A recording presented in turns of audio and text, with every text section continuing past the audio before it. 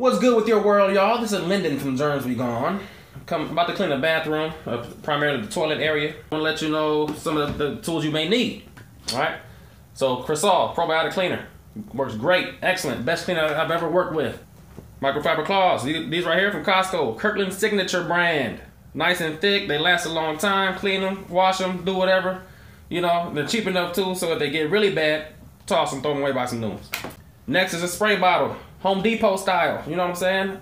Uh, $1.50, $2 for a spray bottle.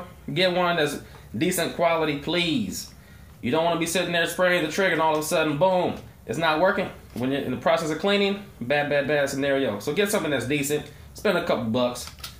And lastly, a toilet brush. That toilet brush right there. I do recommend softer bristles, uh, uh, maybe even a, a, sponge head if, if you can find one. Um, that way uh, you can limit the scratches. So the first step is to remove all the stuff from the little bathroom area that's here by the commode, as you can see. Trash can, usually present, set it outside. Area rug, present, you know, set it outside. Scale, present, set it outside. Pick up any little trash that you may find around the toilet as well. That's going to give you plenty of workspace because you're going to be you're to be getting down in the, in the, corners and the baseboards and all that kind of stuff. It also signals to the members of your household, roommates or whatever, yo, I'm cleaning in here. You might want to chip in and do something else elsewhere. You know what I'm saying?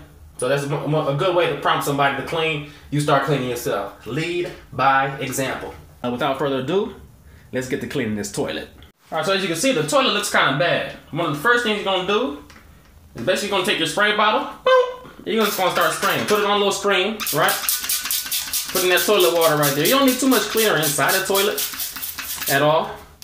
I'm gonna put on a stream. I'm gonna get the top of that joint. I'm gonna spray that handle. And I'm gonna start lifting up the seat. You know, you got pee right there. Boom, you're gonna get that. Get all that. Get the rim.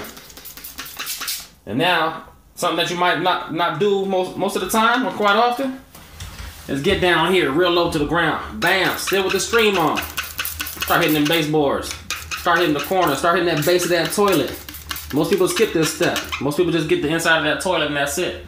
No, no, no, no. We've got to do more than that. Bam. Hit that corner. Come over here, hit this corner. Now, we are ready to hit the inside of that toilet. Grab our brush here. Bang. Just start getting it, you know. You'll find that a lot of places have extremely hard water. These are some mineral deposits mixed in with some germs, some biofilm, that kind of thing. But I'm gonna get all up underneath here. I'm gonna, I'm gonna try to throw that cleaner everywhere I can. I'm gonna sanitize all surfaces. Right, there's the toilet, get inside here. You wanna throw that in there several times. Boom, get it in there, twist. Get it in there and twist. All right. Now what we're gonna do is, we're not gonna flush that yet. We're gonna let that marinate for a little bit.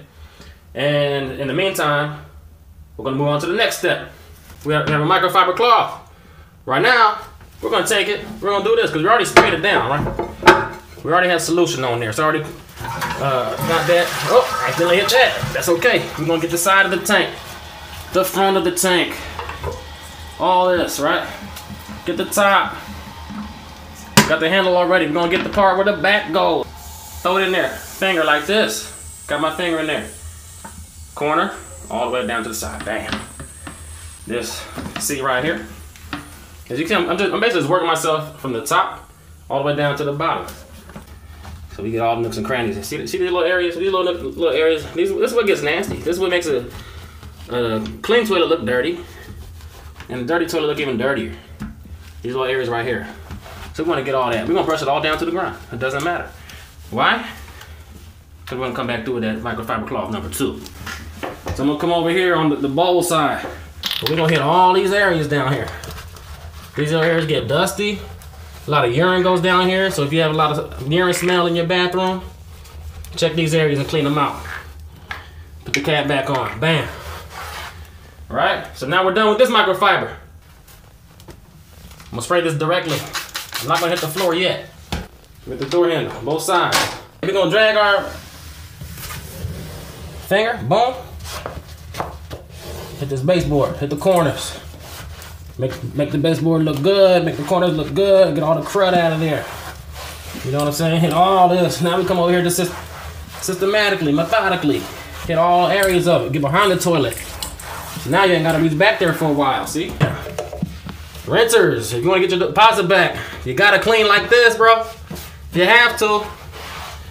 I've done a lot of move move outs in my career. Every property manager looks for the same stuff. There's no there's no surprise, no secret. Follow the blog, follow my videos, all that kind of stuff. If you want to learn more.